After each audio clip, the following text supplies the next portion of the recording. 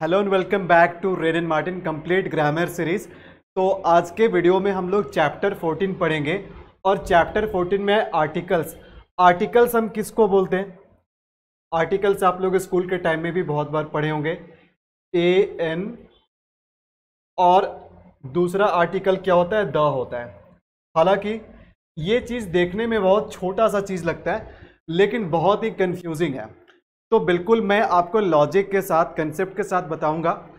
हालाँकि हमारे स्कूल के टाइम में आ, ऐसी चीज़ें बताई गई आर्टिकल के बारे में जैसे कि आ, अगर रिवर का नाम हो तो हम द लगा देते हैं। किसी माउंटेन का सीरीज़ ऑफ़ माउंटेन का नाम हो तो द लगा देते हैं। ठीक है? तो हमें रटा रटा यह चीज़ बताया गया। एक्चुअल में कन, हमारा जो कंसेप्ट है ना आर्टिकल को लेकर के वो बिल्ड नहीं हो पाया। तो एक्चुअल में ध्यान देना है कि आर्टिकल जो है ना बहुत लॉजिक का चीज़ है। देखने में बहुत छोटा लगता है बट इसमें बहुत लॉजिक है जो आपको, मैं आपको इस वीडियो में बताऊँगा। तो सभी लोग एक बार इसको लाइक और शेयर कर दीजिएगा सेशन को। तो ध्यान देना तो रेनन मार्टिन के बुक से हम लोग पढ़ रहे हैं। कंसेप्ट मैं अपना बताऊँगा, मैं चीज़ों को सिंप्लीफाई करने का कोशिश करूँगा, जैसा कि मैंने अभी तक सभी चैप्टर में किया है। और आप लोगों के बहुत अच्छे रिस्पॉन्स मुझे मिल रहे हैं। और एक दो दिन भी गैप होता है तो फिर आप लोगों का रिक्वेस्ट होता है। सर प्लीज़ आप इसे बीच में ब्रेक मत कीजिए। सर आप इसको रेगुलर रखिए। तो कभी कभी चूँकि मेरे जो वर्क होते हैं ना थोड़ा सा ज़्यादा वर्कलोड हो जाता है तो इस कारण से एक दो दिन कभी कभी वीडियो आपको रेन मार्टिन पे नहीं मिल पाता है। लेकिन हाँ मैं कोशिश करता हूँ कि आ, आपके वीडियोस रेगुलर रहे। तो आज हम लोग चैप्टर 14 पढ़ेंगे और एक बात मैं आपको और बता देता हूँ कि आर्टिकल थोड़ा सा बड़ा चैप्टर है तो मैं इसे एक वीडियो में नहीं बल्कि दो या तीन पार्ट में कंप्लीट करूँगा। छोटा छोटा ही वीडियो होगा बट दो तीन पार्ट में ये आर्टिकल कंप्लीट हो जाएगा ठीक है? तो चलिए स्टार्ट करते हैं और जानने का कोशिश करते हैं कि आर्टिकल क्या होते हैं, इसका क्या रोल होता है किसी भी सेंटेंस में, ठीक है? तो देखिए क्या लिखा हुआ है द एडजेक्टिव्स ए हाँ the adjective a an and the are usually called articles अब देखो आर्टिकल में जैसा कि मैंने आपको अभी बताया कि ए एन एंड द ये जो चीज़ है ना ए एन और द ये हमारा आर्टिकल है और ये एक प्रकार का एडजेक्टिव है। आर्टिकल्स आर एडजेक्टिव्स जिसे हम डिटरमाइनर्स भी कहते हैं। जिसे हम डिटरमाइनर्स भी कहते हैं, ठीक है? So they are really demonstrative adjectives ध्यान देना। आप इसे डेमोन्स्ट्रेटिव एडजेक्टिव्स भी कह सकते हैं और आप इसे डिटरमाइनर एडजेक्टिव्स भी कह सकते हैं। तो डिटरमाइनर का काम क्या होता है? डिटरमाइनर का काम होता है डिटरमिन करना, ठीक है? डिटरमिन करने का मतलब होता है किसी चीज़ को फिक्स करना। तो आर्टिकल किसको फिक्स करता है? आर्टिकल नाउन को फिक्स करता है। आर्टिकल हम किसके पहले लगाते हैं? आर्टिकल हम लगाते हैं नाउन के पहले। किसके पहले? किसी नाउन के पहले। तो आर्टिकल क्या करता है? उस नाउन को डिटरमिन करता है। डिटरमिन करने का मतलब है कि उसको फिक्स करता है। तो ध्यान देना, कि आप जानेंगे कि इसमें कितने टाइप के आर्टिकल होते हैं। तो आर्टिकल दो टाइप के होते हैं। एक होता है डेफिनिट आर्टिकल और एक होता है इनडेफिनिट आर्टिकल तो यहाँ पर देखिए, सबसे पहले मैं एग्ज़ाम्पल से समझाने का कोशिश करूँगा आप लोगों को। तो देखिए, जैसे कि यहाँ पर हमने, यहाँ पर हमने एक एग्ज़ाम्पल लिया। एग्ज़ाम्पल में हमने लिखा एग्ज़ाम्पल में हमने लिखा मैन एग्ज़ाम्पल में हमने मैन लिखा। अब देखो मैन क्या है? मैन एक नाउन है। जो हमने लिखा मैन ये एक नाउन है। ये एक नाउन है। एन का मतलब क्या हो गया? नाउन हो गया। अब देखो मैन एक कॉमन नाउन है। कॉमन नाउन मुझे पता है कि आप लोग अब तक समझ गए होंगे, क्योंकि कॉमन नाउन वाले चैप्टर में ऑलरेडी कंप्लीट कर दिया हूँ। मतलब जो नाउन का चैप्टर था इसमें, वो मैं पहले ही कंप्लीट कर चुका हूँ। तो कॉमन नाउन का मतलब ऐसा नाउन जो सभी के लिए कॉमन हो, ठीक है? तो मैन बोलने से कोई भी मैन हो सकता है। तो ध्यान देना, जिस मैन के बारे में मैं बता रहा हूँ, जिस मैन के बारे में हम लोग जो मैं बता रहा हूँ, क्या आपको पता है कि मैं किस मैन के बारे में बात कर रहा हूँ? क्या आपको पता है कि मैं किस मैन के बारे में बात करूँ क्या आप इसको जानते हैं? सर, बिल्कुल भी नहीं जानते हैं। तो जिसके बारे में आपको कुछ पता नहीं है तो वो चीज़ क्या है? वो चीज़ हमारे लिए डेफिनिट है कि इनडेफिनिट है?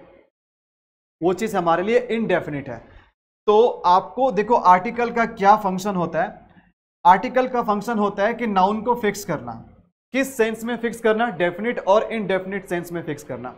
अगर नाउन इनडेफिनिट है तो वहाँ पर हम इंडेफिनिट आर्टिकल ए और एन में से कोई लगाएँगे। और अगर नाउन डेफिनिट है फिक्स है तो वहाँ पर हम क्या करेंगे? द लगाएँगे। बात समझ में आ रही? तो यहाँ पर जिस मैन के बारे में हम बात कर रहे हैं, ये डेफिनेट है कि इनडेफिनिट है? सर इनडेफिनिट है। तो इनडेफिनिट रहेगा तो भी हम इसको डिटरमिन करेंगे इनडेफिनिट आर्टिकल लगा करके। और अगर डेफिनिट रहेगा तो भी हम इसको क्या करेंगे? फिक्स करेंगे, द लगा करके। तो हर हाल में आपको कॉमन नाउन के पहले आर्टिकल देना पड़ेगा। अगर वो डेफिनेट नहीं है तो आपको ए एन देना पड़ेगा, और अगर डेफिनेट है तो द देना पड़ेगा बट आर्टिकल आपको देना पड़ेगा। ठीक है? उसके बाद हम ज़ीरो आर्टिकल के बारे में भी जानेंगे, जहाँ पर कोई भी आर्टिकल नहीं लगता है। तो चूँकि यहाँ पर ये मैन क्या है, ये इनडेफिनिट है तो अगर ये इनडेफिनिट है तो इसके पहले हमें ए लगाना पड़ेगा। इसके पहले हमें ए लगाना पड़ेगा। ठीक है? बात समझ में बिल्कुल ध्यान से, गौर से समझिएगा एग्ज़ाम्पल को। सारा खेल एग्ज़ाम्पल पे ही है। लेकिन देखो मैं फिर से सेंटेंस को आ, मतलब एक एग्ज़ाम्पल मैं देता हूँ। जैसे man home I helped man home I helped अब जरा बताना मैं किस मैन की बात कर रहा हूँ। अब बताना किस मैन की बात कर रहे हैं। अब यहाँ पर फिर से हमने मैन लिखा है ठीक है? तो सेकंड एग्जांपल में मुझे बताना कि यहाँ पर किस मैन की बात हो रही है। मैन होम आई हेल्प्ड मतलब वो आदमी जिसे जिसे मैंने मदद किया, जिसको मैंने हेल्प किया। तो वो आदमी, वो मैन जिसको मैंने हेल्प किया। तो बताना कि यहाँ पर ये जो मैन है, ये डेफिनेट है या इनडेफिनेट है? भाई कौन सा आदमी? सर, जिसे आपने हेल्प किया। यहाँ पर मैं बोलूँगा कि कौन सा आदमी? सर, मुझे पता नहीं कि कौन सा आदमी। लेकिन यहाँ पर मैं बोलूँगा कि कौन सा आदमी? तो आप बोलेंगे, सर, वो आदमी जिसको आपने हेल्प किया। तो यहाँ पर क्या हो रहा है? ये इंफॉर्मेशन किस चीज़ से जुड़ा हुआ है? ये इस मैन से जुड़ा हुआ है। तो अगर किसी नाउन से रिलेटेड अगर कोई इंफॉर्मेशन उसके साथ जुड़ा हुआ है, जो उसके बारे में ही बात कर रहा है तो वो चीज़ हम लोगों के लिए डेफिनेट हो जाता है। तो इसलिए यहाँ पर जो मैन हमने लिखा, ये हो गया डेफिनेट और अगर ये डेफिनेट हो गया तो हमें क्या करना पड़ेगा? हमें इसके पहले आर्टिकल द लगाना पड़ेगा। हमें इसके पहले आर्टिकल द लगाना पड़ेगा। बात समझ में आ रही है?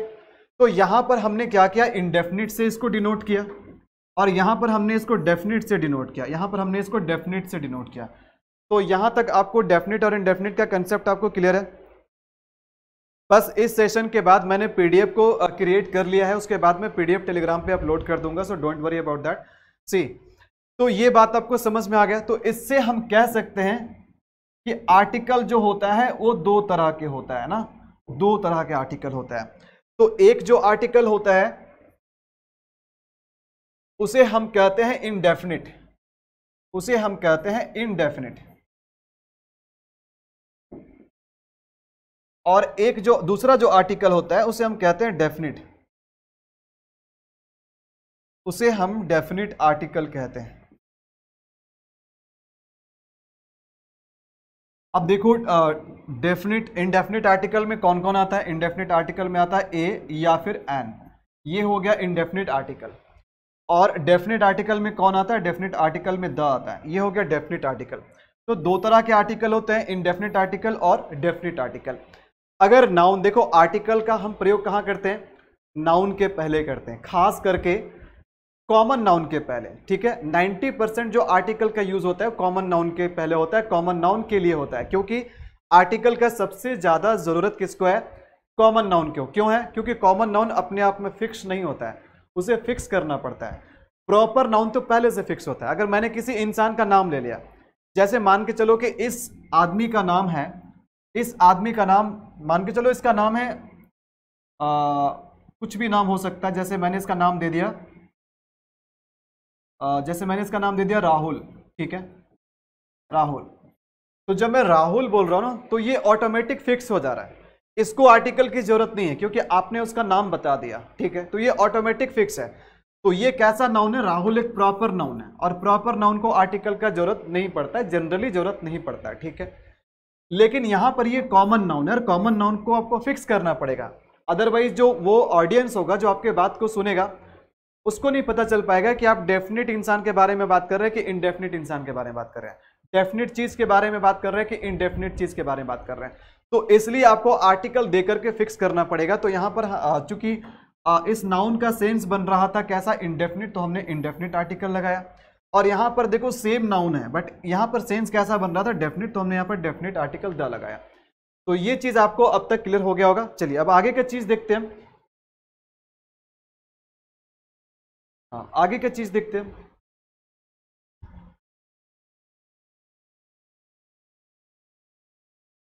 देखिए। हाँ। तो यहाँ पर हम आर्टिकल का यूज़ कहाँ कहाँ करेंगे, कैसे करेंगे, आपको ये चीज़ तो आपको क्लियर हो गया कि डेफिनेट आर्टिकल और इनडेफिनेट आर्टिकल क्या होता है।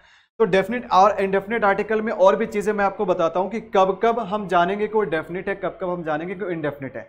तो पहला तो एग्ज़ाम्पल मैंने बताया कि अगर कोई नाउन अगर उससे जुड़ा हुआ कोई भी इंफॉर्मेशन आपके पास नहीं है तो वो इनडेफिनेट है। अगर आपके बारे, आपके पास उसके बारे में, किसी भी नाउन के बारे में कोई जानकारी नहीं है, ना तो स्पीकर को सही से जानकारी, ना तो लिसनर को जानकारी है, ठीक है? तो वो इनडेफिनिट होता है। और अगर किसी नाउन से रिलेटेड अगर हमारे पास थोड़ा सा भी कुछ जानकारी है तो वो डेफिनिट बन जाता है। तो ये चीज़ तो मैंने आपको पहले बताया दूसरा देखो मैं एग्ज़ाम्पल देता हूँ। चीज़ों को मैं एग्ज़ाम्पल से ज़्यादा समझाने का कोशिश करूँगा बिकॉज़ एग्ज़ाम्पल से चीज़ें हमें बहुत आसानी से समझ में आ जाती हैं। तो जैसे कि यहाँ पर मैं एक एग्ज़ाम्पल और ले रहा हूँ, देखिएगा। ये हमारा सेकेंड एग्ज़ाम्पल होगा उसके बाद। जैसे हमने लिखा हमने लिखा doctor doctor came doctor came doctor doctor treated me. Doctor treated me. Doctor treated me. अब देखो, यहाँ पर मैंने दो जगह ब्लैंक स्पेस छोड़ा है। यहाँ पर दो सेंटेंसेस है। एक सेंटेंस है, डॉक्टर केम डॉक्टर केम, और दूसरा सेंटेंस देखो, ब्लैंक स्पेस के बाद दूसरा सेंटेंस है, डॉक्टर ट्रीटेड मी। यानी डॉक्टर आया, और डॉक्टर ने मेरा इलाज किया। तो यहाँ पर यहाँ पर ध्यान देना है कि यहाँ पर दो नाउन है। देखो सेम नाउन है, दो बार यूज़ हुआ है। डॉक्टर देखो क्या नाउन है। और इसी नाउन को फिर से दूसरे सेंटेंस में यूज़ किया गया तो यहाँ जो दो ब्लैंक स्पेस है, एक ब्लैंक स्पेस यहाँ पर है और एक ब्लैंक स्पेस यहाँ पर है। आपको बताना है कि यहाँ पर कौन सा आर्टिकल लगाएँगे? पहले वाले सेंटेंस में कौन सा आर्टिकल लगाएँगे? और दूसरे वाले सेंटेंस में कौन सा आर्टिकल लगाएँगे? तो पहले वाले सेंटेंस में हम आर्टिकल लगाएँगे ए इनडेफिनिट आर्टिकल ए और दूसरे में हम क्या करेंगे? द लगाएँगे। अब ऐसा क्यों हो रहा है? सर नाउन तो सेम है। यहाँ भी वही नाउन है डॉक्टर और यहाँ भी वही नाउन है डॉक्टर दोनों जगह तो नाउन सेम है। बट ऐसा क्यों हो रहा है कि आप एक बार यहाँ पर आर्टिकल इंडेफिनिट आर्टिकल ए लगा रहे हैं और एक बार आप उसी नाउन के पहले आप क्या कर रहे हैं? द लगा रहे हैं। ऐसा क्यों कर रहे हैं, सर? तो ध्यान दीजिएगा। किसी भी डिस्कशन में, किसी भी स्टोरी में, अगर किसी नाउन के बारे में पहली बार चर्चा हो रहा है अगर किसी नाउन के बारे में हम पहली बार जान रहे हैं, पहली बार हम उसका चर्चा कर रहे हैं तो उस समय तक वो नाउन हमारे लिए इनडेफिनिट होता है। तो मुझे बताना, ये जो सेंटेंस मैंने बोला कि डॉक्टर आया और डॉक्टर ने मेरा मेरा इलाज किया तो ये बात हम सबसे पहले बोले कि डॉक्टर आया। तो यानी कि पूरे सेंटेंस में, पूरे कहानी में हम इस नाउन का ज़िक्र पहली बार कर रहे हैं। तो अगर आप किसी भी नाउन का ज़िक्र अगर पहली बार कर रहे हैं किसी भी सेंटेंस में किसी कॉमन नाउन का ज़िक्र आप पहली बार कर रहे हैं फ़र्स्ट टाइम कर रहे हैं तो उस समय क्या होता है? वो नाउन हमारे लिए इनडेफिनिट होता है। तो ये क्या है? यहाँ पर नाउन इंडेफिनिट है तो इसलिए हम यहाँ पर इंडेफिनिट आर्टिकल ए लगा रहे हैं। लेकिन अगर हम सेकेंड सेंटेंस की बात करें डॉक्टर ट्रीटेड मी अब जरा बताना कौन सा डॉक्टर भाई वो डॉक्टर जो आया। तो क्या इस डॉक्टर का ज़िक्र हम पहली बार कर रहे हैं कि पहले भी कर चुके हैं? सर पहले भी कर चुके हैं। इस नाउन का ज़िक्र हम पहले यहाँ पर भी कर चुके हैं। यानी कि अब हम उसका ज़िक्र सेकेंड टाइम कर रहे हैं। तो यानी कि अगर किसी नाउन का ज़िक्र अगर आप दोबारा करते हो, या फिर किसी नाउन की चर्चा पहले ही हो चुकी है तो वो हमारे लिए डेफिनेट होता है। तो इसलिए यहाँ पर ये क्या हो गया? डेफिनेट बन गया। तो इसलिए हमने क्या किया यहाँ पर? यहाँ पर हमने द लगाया। बात समझ में आ रही? है इस कारण से यहाँ पर हम यहाँ क्या कर रहे हैं? द लगा रहे हैं। आई होप ये चीज़ आपको क्लियर हो गया होगा। चलिए, कुछ नया चीज़ देखते हैं आप।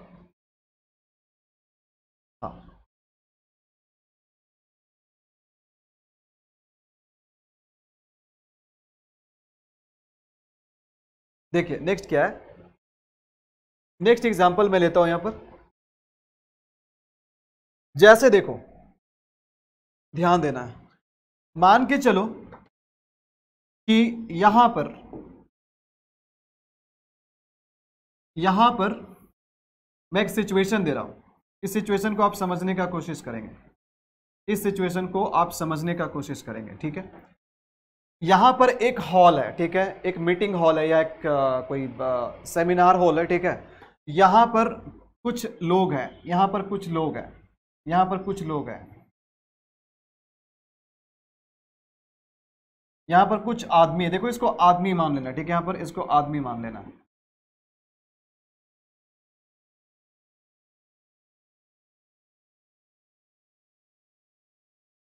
तो देखो, यहाँ पर इस हॉल में कितने लोग इस हॉल में बहुत सारे लोग हैं, ठीक है?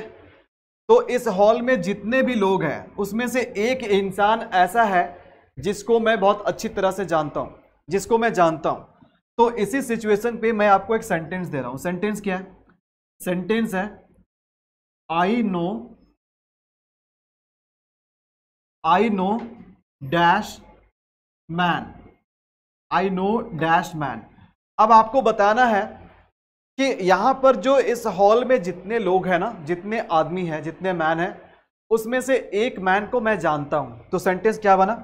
आई नो डैश मैन अब आपको बताना है कि यहाँ पर हम ये जो ब्लैंक स्पेस है, यहाँ पर हम क्या लगाएँगे?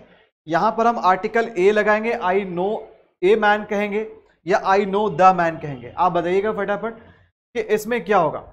तो इसमें हम क्या करेंगे? इसमें हम लगाएँगे आर्टिकल आप में से बहुत सारे लोग बोलेंगे कि इसमें हम द लगाएँगे। क्यों द लगाएँगे? आप कहेंगे, सर, द इसलिए लगाएँगे क्योंकि इस इंसान को तो हम जानते हैं। लेकिन केवल आपके जान लेने से, देखिए, केवल मेरे जान लेने से, यानी केवल स्पीकर को जान लेने से वो चीज़ डेफिनेट नहीं हो जाता है। तो एक बात हमेशा ध्यान रखिएगा कि अगर स्पीकर किसी के बारे में जानता है तो वो डेफिनेट नहीं है। डेफिनेट तब होगा जब लिसनर को भी बाई डिफ़ॉल्ट वो बात पता होना चाहिए। तो मैं बोल रहा हूँ कि यहाँ पर जितने भी लोग हैं, उसमें से एक इंसान को मैं जानता हूँ। भाई, मैं जानता हूँ। आपको पता है कि मैं किस इंसान के बारे में बात कर रहा हूँ? मैं इसके बारे में बात कर रहा हूँ, मैं इसके बारे में बात कर मैं इसके बारे में बात कर मैं इसके बारे में बात कर रहा हूँ। आपको तो पता ही नहीं कि मैं किसके बारे में बात कर रहा हूँ। तो यहाँ पर जो चीज़ें है ना, वो केवल मेरे लिए डेफिनेट है, मुझे पता है स्पीकर को पता है कि हम किसके बारे में चर्चा कर रहे हैं। बट मेरे ऑडियंस को नहीं पता है, मेरे लिसनर को नहीं पता है कि मैं किसके बारे में बात कर रहा हूँ। तो कोई नाउन डेफिनेट तब होगा जब उसके बारे में दोनों को जानकारी हो स्पीकर को भी हो लिसनर को भी हो तो अगर आप सोच रहे हैं कि यहाँ पर हम द लगा देंगे तो सही हो जाएगा, बिल्कुल भी नहीं। यहाँ पर द नहीं होगा। यहाँ पर आपको ए लगाना पड़ेगा। यहाँ पर आपको ए लगाना पड़ेगा। क्यों ए लगाना पड़ेगा? आई नो अ मैन ठीक है? यहाँ द हम नहीं लगाएँगे। द तब लगाएँगे जब दोनों को क्लियर होगा, ठीक है? लेकिन ध्यान दीजिएगा, अब मैं फिर से एक सिचुएशन बनाता हूँ, फिर से ध्यान देना। जैसे कि एक नया सिचुएशन ये है कि अगेन, अब देखो इस कमरे में या इस हॉल में एक इंसान है। इस कमरे में या इस हॉल में एक इंसान है जिसको मैं जानता हूँ। I know I know dash man अब मुझे आप बताना कि इसमें क्या लगाएँगे। अब जो मैंने नया सिचुएशन दिया, इसमें हम क्या लगाएँगे?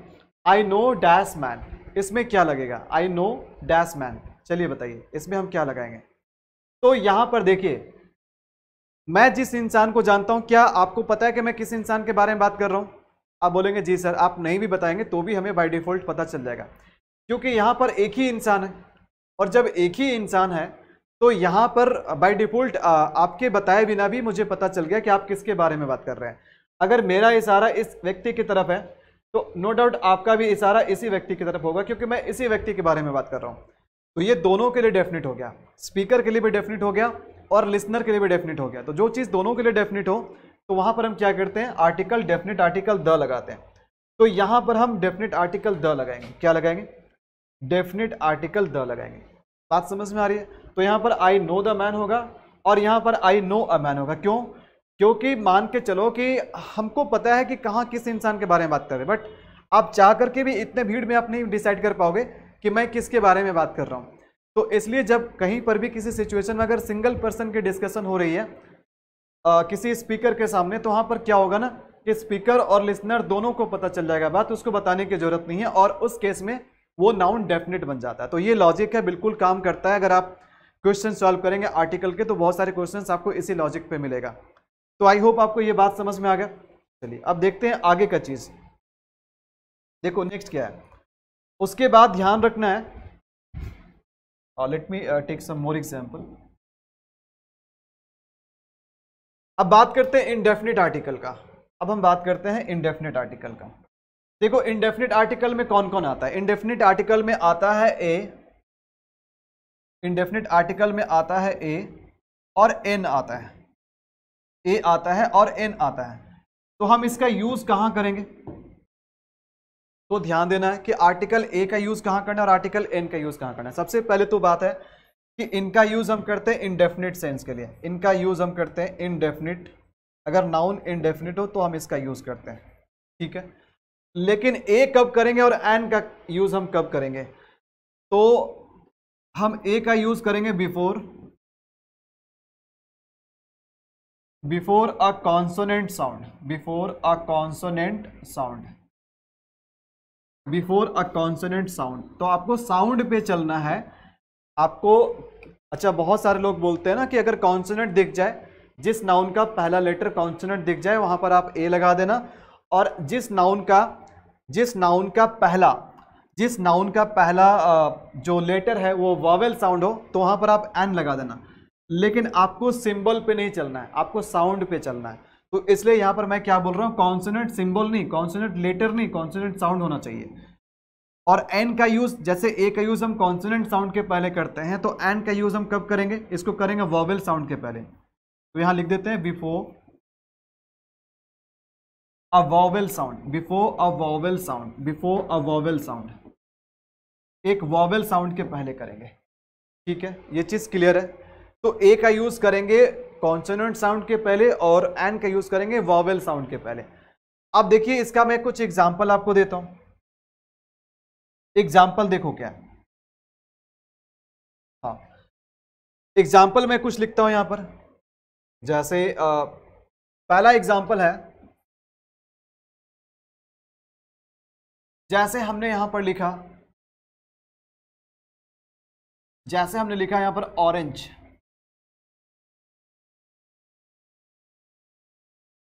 दूसरा एग्ज़ाम्पल है।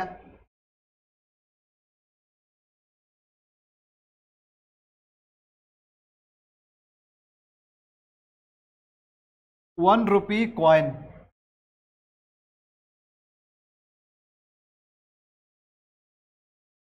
Third example है। अम्ब्रेला। अम्ब्रेला। फोर्थ एग्ज़ाम्पल है। University university. चलिए कुछ और एग्ज़ाम्पल लेते हैं। हाँ उसके बाद हमने लिखा यहाँ पर, जैसे हमने लिखा यहाँ पर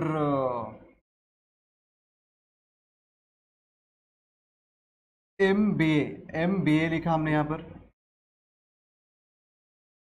उसके बाद है जैसे हमने लिखा honest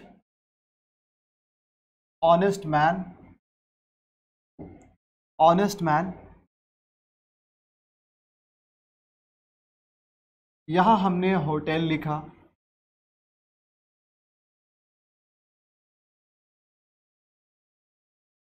ठीक है तो यहाँ ध्यान देंगे हम। जैसे यहाँ पर हमने लिखा मेंबर तो यहाँ पर जो एग्ज़ाम्पल हमने लिखा, इन एग्ज़ाम्पल में आपको आर्टिकल ए और एन लगाना है। कहाँ पर ए लगेगा, कहाँ पर एन लगेगा आपको ए और एन से आपको फील करना है इन एग्जाम्पल्स को। तो ध्यान देंगे हम, हमें साउंड पे काम करना है वॉवेल और कॉन्सनेंट साउंड पे काम करना है लेटर पे काम नहीं करना है। तो देखो यहाँ पर कौन सा नाउन है? ऑरेंज है। तो ऑरेंज जब हम बोलते हैं तो पहला साउंड क्या है? पहला साउंड कॉन्सनेंट का या वॉवेल का है। तो हम अ बोल रहे हैं ऑरेंज बोल रहे हैं। तो पहला साउंड किसका है? वॉवेल का है। तो अगर यहाँ पर ये वॉवेल का साउंड दे रहा है तो यहाँ पर हम क्या करेंगे? एन लगाएँगे। एन ऑरेंज बोलेंगे।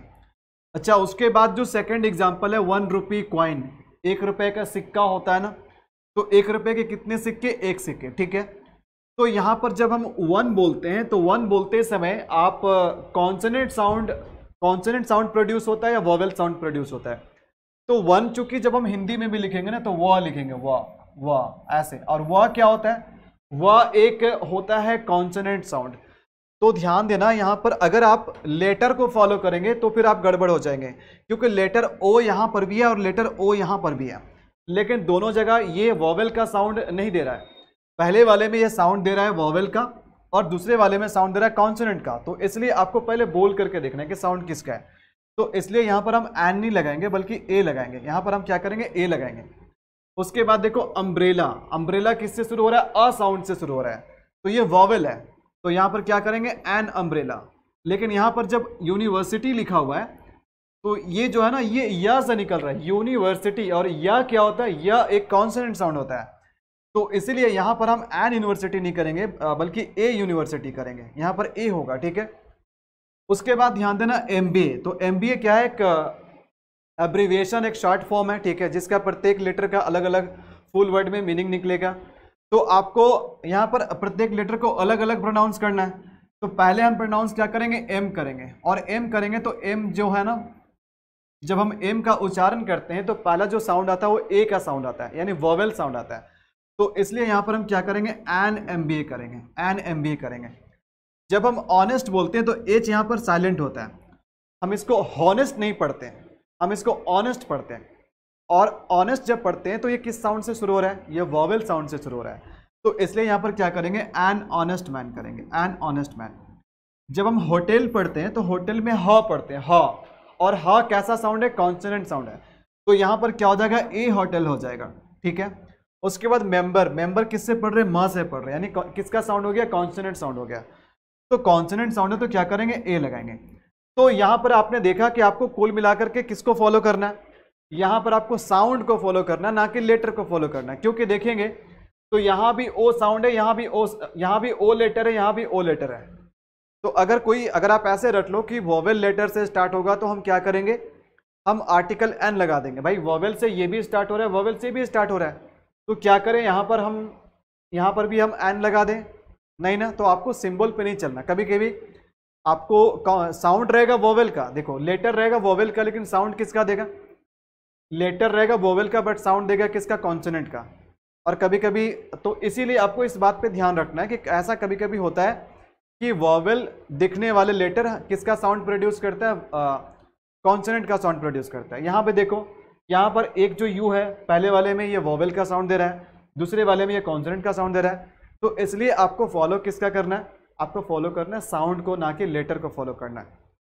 तो ये बात आपको समझ में आ गया कि इनडेफिनेट आर्टिकल ए और एन में हम ए का यूज़ कहाँ करेंगे? एन का यूज़ कहाँ करेंगे, ठीक है? तो सबसे पहले तो ए और एन में मैंने आपको डिफरेंस बताया, ठीक है? अब मैं आपको बताऊँगा कि ये इनडेफिनेट आर्टिकल है, लेकिन ए लेकिन इनडेफिनेट आर्टिकल ए और एन का यूज़ हम और किसके किसके लिए करते हैं? कौन कौन से सेंस के लिए करते हैं? तो मैं आपको अभी सेंस बताता हूँ। सबसे पहले आप इसको आ, थोड़ा सा मैं हट जाता हूँ ताकि सभी क्वेश्चन आपको दिखाई दे। ठीक है? अच्छा। उसके बाद मैं अब बता रहा हूँ कि आर्टिकल ए एन का यूज़ हम किसके किसके लिए करते हैं। तो बिल्कुल यहाँ ध्यान रखेंगे। आर्टिकल ए एन का यूज़ हम कहाँ कहाँ करते हैं? आर्टिकल ए या एन का यूज़ हम कहाँ कहाँ करते हैं? तो इसका यूज़ जानेंगे हम।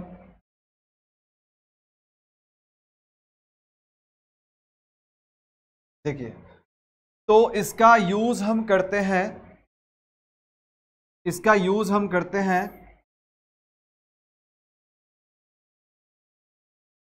इसका यूज़ करते हैं इनडेफिनिट नाउन बताने के लिए। इसका यूज़ हम करते हैं इनडेफिनिट नाउन बताने के लिए। पहला यूज़ तो इसका ये है। दूसरा यूज़ हम इसका करते हैं किसके सेंस में? आ, इसको हम यूज़ करते हैं कोई इंडिविजुअल बताने के लिए। कोई भी इंडिविजुअल बताने के लिए। इंडिविजुअल का मतलब हो गया कोई एक कोई एक व्यक्ति या एक वस्तु। फिर इसका यूज़ हम करते हैं वन के सेंस में। वन के सेंस में भी करते हैं इसका यूज़ हम।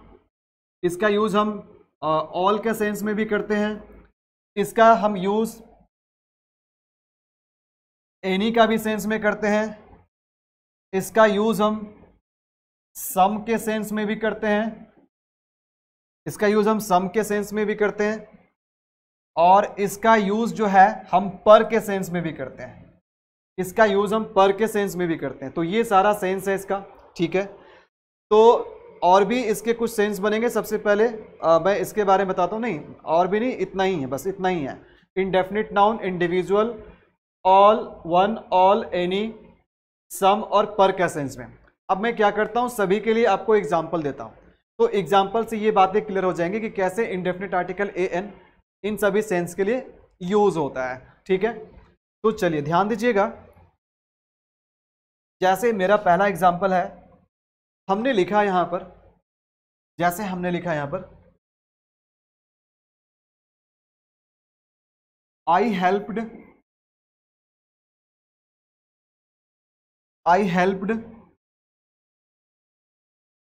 a man I helped a man तो यहाँ पर जो हमने बोला आई हेल्प्ड अ मैन तो यहाँ पर ध्यान दीजिएगा कि मैंने एक इंसान का, मैंने एक आदमी को हेल्प किया।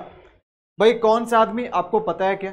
सर, हमें नहीं पता है कौन सा आदमी। कोई एक इंडिविजुअल होगा, कोई भी एक इंडेफिनिट पर्सन है, ठीक है? वो मुझे पता है लिसनर को तो नहीं पता है। तो इसलिए यहाँ पर हम क्या कर रहे हैं? यहाँ पर हम आर्टिकल क्या कर रहे हैं? ए लगा रहे हैं। तो यहाँ पर ये किसके सेंस में यूज़ हो गया? ये इंडेफिनिट के सेंस में हो गया। इसका यूज़ हम यहाँ पर इनडेफिनिट के सेंस में कर लिए।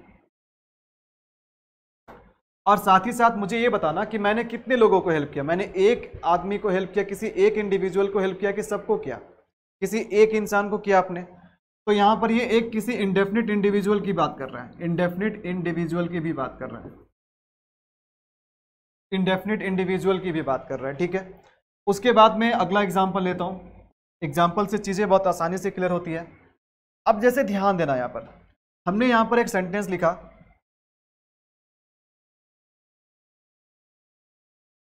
I can drive, I can drive, I can drive a car. I can drive a car अब देखो इसका क्या सेंस बन रहा है, देखो। I can drive a car I can drive a car तो मैं कार चला सकता हूँ। कोई भी कार। देखो यहाँ पर ए का मतलब क्या हो गया? यहाँ पर ए का मतलब वन नहीं है कि मैं एक ही कार चला सकता हूँ, और नहीं चला सकता हूँ। मैं कार चला सकता हूँ, भाई, कोई भी कार रहे, मैं चला सकता हूँ।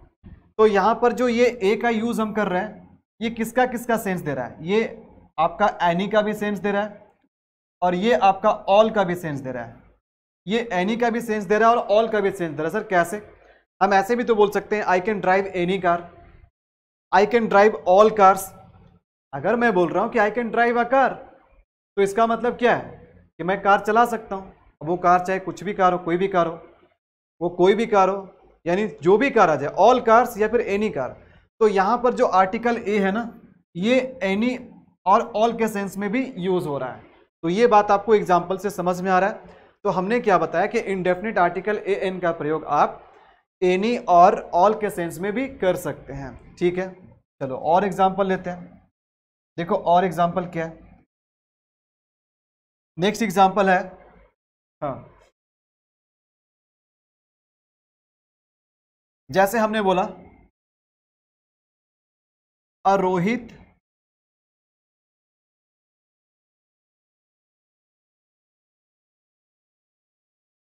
Arohit is calling you Arohit is calling you क्या यह सेंटेंस सही है? अरोहित इज़ कॉलिंग यू क्या यह सेंटेंस सही है? तो ध्यान दीजिएगा। सबसे पहले तो आप सोचेंगे कि रोहित एक प्रॉपर नाउन है। और प्रॉपर नाउन से पहले हम कोई आर्टिकल नहीं लगाते हैं। बट यहाँ पर ये जो आर्टिकल ए है, इसको लगाना सही है। क्यों सही है? क्योंकि इसका जो यूज़ हो, इसका जो हम यूज़ कर रहे हैं, ये सम का सेंस में कर रहे हैं। सम का सेंस और यहाँ पर सम का मतलब क्या हुआ? यहाँ पर सम का मतलब हुआ सर्टेन यहाँ पर सम का मतलब हुआ सर्टेन यानी कोई मतलब जैसे बोलेंगे ना कि, हम इसको दो तरीके से बोलेंगे। देखो, ध्यान देना, अगर मैं बोलूँगा कि रोहित आपको कॉल कर रहा है तो इसका मतलब है कि रोहित के बारे में मुझे भी पता है। रोहित के बारे में मुझे भी पता है, मैं भी उससे परिचित हूँ। लेकिन अगर मैं बोलूँगा या फिर मैं घर पे हूँ और मेरे पापा बोलते अरे जाओ, कोई रोहित तुमको कॉल कर रहा है। कोई रोहित कॉल कर रहा है का मतलब क्या? मेरे पापा को नहीं पता है कि रोहित कौन है। मेरा फ़ोन पड़ा हुआ था और फ़ोन में कॉल आ रहा था, उसमें रोहित लिखा हुआ था। मेरे पापा ने देखा कोई रोहित कॉल कर रहा है। तो मेरे पापा ने मुझे बोला कि, जाओ, कोई रोहित कॉल कर रहा है। तो कोई रोहित का मतलब क्या हो गया? कोई का मतलब हो गया कोई सम सम रोहित, ठीक है? कोई सर्टेन रोहित। जिसके बारे में शायद मैं जानता हूँ, लेकिन मेरे पिताजी नहीं जानते हैं, ठीक है? तो कोई भी ऐसा प्रॉपर नाउन रहे, जिससे स्पीकर को बहुत ज़्यादा स्पीकर उससे बहुत ज़्यादा फैमिलियर ना हो स्पीकर के स्पीकर के पास उसके बारे में ज़्यादा जानकारी ना हो तो वहाँ पर हम ए का यूज़ करते हैं ए एन का यूज़ करते हैं सम के सेंस में। यहाँ सम का मतलब क्या हो गया? सर्टेन हो गया। यहाँ पर सम का मतलब सर्टेन हो गया, ठीक है? तो ये बात आपको क्लियर हो गया कि यहाँ पर हम इसको सम का सेंस में कर रहे हैं। और एग्ज़ाम्पल देखेंगे हम। जैसे ध्यान देना। जैसे हमने यहाँ पर लिखा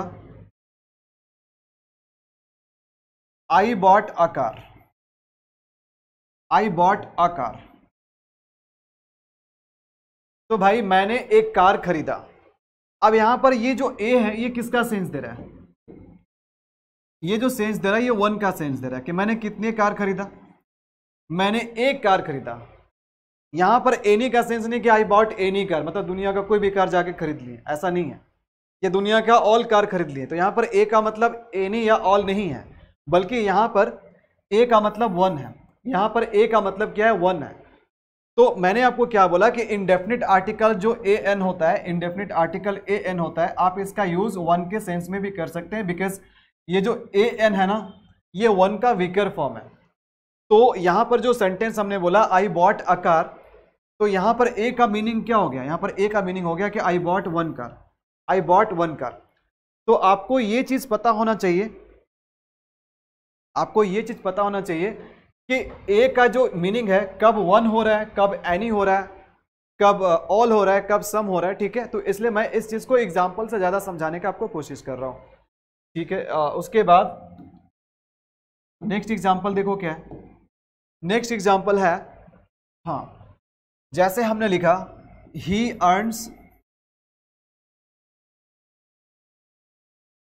he earns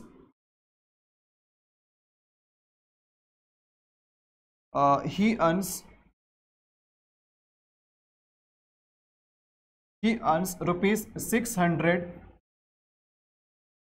six hundred a day he earns rupees six hundred a day वह क्या करता है? वो प्रतिदिन कितना कमाता है? छह सौ रुपए कमाता है।